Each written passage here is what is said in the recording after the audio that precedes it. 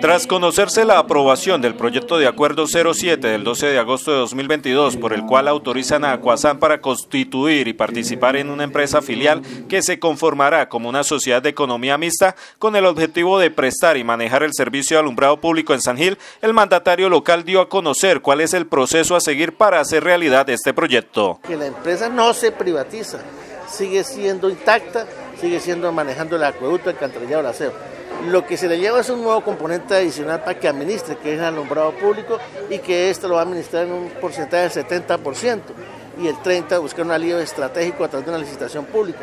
Es decir, lo que estamos fortaleciendo al contrario de la empresa. ¿Y por qué tiene que ser así, un aliado?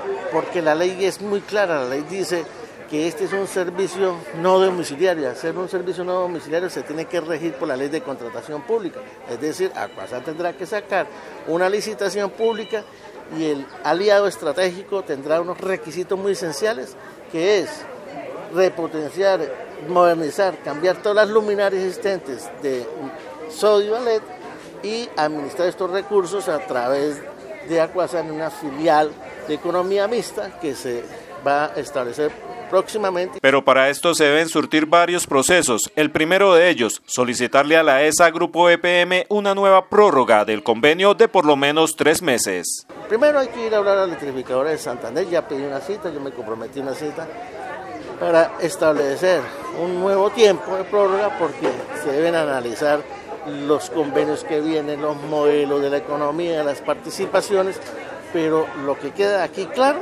es que se va a fortalecer. Yo he dicho siempre que hay una frase popular, para la verdad el tiempo. Cuando vean que la empresa se vuelve cada vez más sola, porque así inició EPM Medellín, EPM Medellín precisamente comenzó con estos modelos.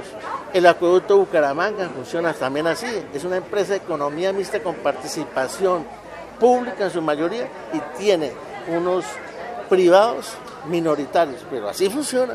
Entonces, lo que estamos es fortaleciendo al contrario. Claro, el debate se suscita porque le dieron el corazón a los angileños que el alcalde iba a privatizar Acuasal y quedó demostrado que no es cierto que se va a privatizar. Respecto a las vigencias futuras, el mandatario explicó que se trata del impuesto que la comunidad paga al municipio por el alumbrado público y lo que se autorizó fue a la utilización de esos recursos por el tiempo que dure el convenio sin necesidad de volver al Consejo Municipal para su aprobación. Entonces, con esa vigencia futura también se le traerá responsabilidad a Acuasa que tenga la operación por 20 años y pueda hacer el aliado estratégico.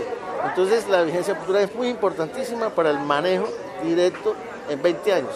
Una vez se conforme Acuazán y con el alumbrado eh, público, ellos deben entregar los informes a la administración municipal y la, administración municipal, después de que vean los gastos, le gira la plata para los pagos respectivos. ¿Qué pagos respectivos? La pago de la energía, el pago de la OM, el pago de la interventoría. ¿Qué es lo que estamos haciendo? Es la misma figura que estaba hoy con la electrificadora y que tiene que ser un aliado. ¿Por qué la electrificadora tiene que ser un aliado? Porque la electrificadora nos tiene que vender la energía, nos, sigue prestando el servicio de facturación. Entonces, en la licitación pública que se va a sacar, me decía, ¿y por qué no puede participar un, un público? Claro, si hay un público que quiera participar en la licitación, también lo puede hacer.